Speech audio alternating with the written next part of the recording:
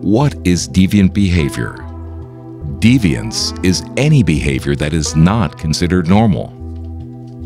Who defines what is normal? Each society defines it differently, and the definition can change over time.